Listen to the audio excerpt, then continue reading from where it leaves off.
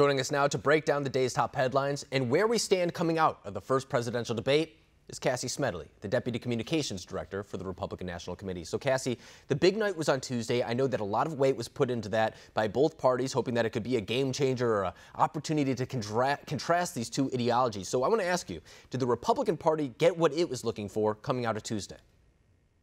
Yeah, it was definitely a good start as we for the first of uh, of the series of debates, but this was the first time that most Americans got to hear from Joe Biden for any real amount of time.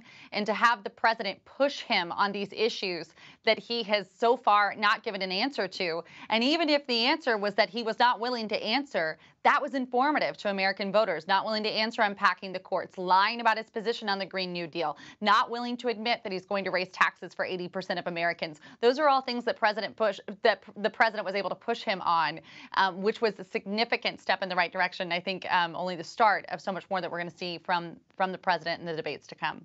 And Cassie, I noticed that President Trump, I think it was a strategy of his to come in, be an aggressor, and to some degree a disruptor as well. Because, for example, going into the night, uh, we were talking about what would be the soundbite that Joe Biden would take away to really introduce himself to the rest of the country, people who may not pay attention to politics. And coming out of it, I don't think Joe Biden got the opportunity to in introduce himself to a lot of people who maybe don't pay attention to politics too much. He didn't get to lay out his policies or anything like that. And it seems like that might have been actually the strategy by the Trump campaign. So I think when we look at that as well, do you think that Joe Biden had a hard time getting out his message that would be crucial to a lot of independent voters?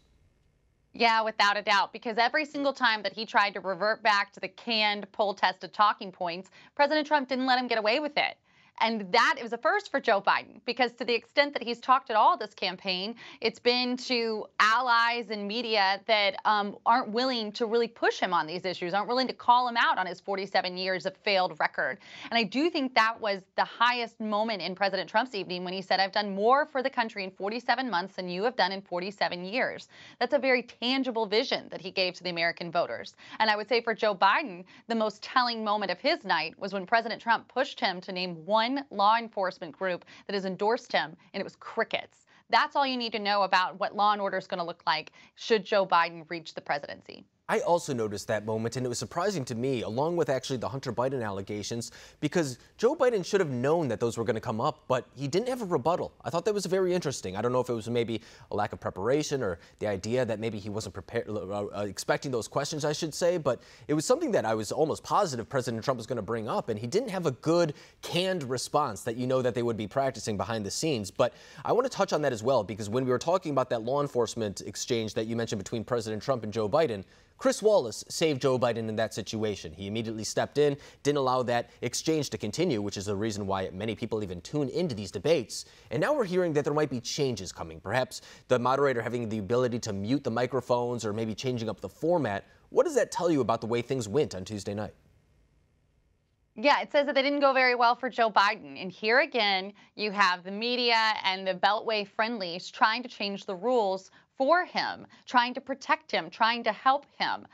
The, the candidates and the campaigns agreed to the terms for these debates. That's what should be on the table going forward. If they both agree to change the terms, that can be under consideration. But the debate commission should not be able to do it without the input and the agreement from both campaigns. Now, that said, the American people need to hear from Joe Biden. And the moderators protecting him, the debate rules protecting him, only further hurts the American people's ability to make an informed voting decision. And so if at this point, if they don't know how they want to vote because they haven't heard Joe Biden's position, that's Joe Biden's fault. And nobody else should bail him out of that. And you know, I heard a conversation this morning that was kind of interesting to me actually between Megyn Kelly and Hugh Hewitt on her podcast. And she was saying that the first debate might actually be setting up the second debate in the sense that Biden is now going to be expecting President Trump to interrupt him. But perhaps if President Trump just takes a step back and lets Biden to really explain his issues in the way that he wants to, that might be the disadvantage. I mean, we've seen uh, Joe Biden, for example, go on these long rants and really get lost in his own thoughts. That's when he has the gaffes, the fumbles, things of that nature. So perhaps it's not just just about the first debate, but winning the series of debates, because what we're seeing right now is very similar to what happened in 2016. The initial uh, debate, everyone said that President Trump lost. In fact, back in 2016, they said that he lost all of the debates, and we know how that turned out. so I think it's about the big picture, not just the first debate. I think that's what a lot of people have to keep in mind. But Cassie Smedile, I really appreciate you coming on the program tonight, breaking down that debate. Thank you.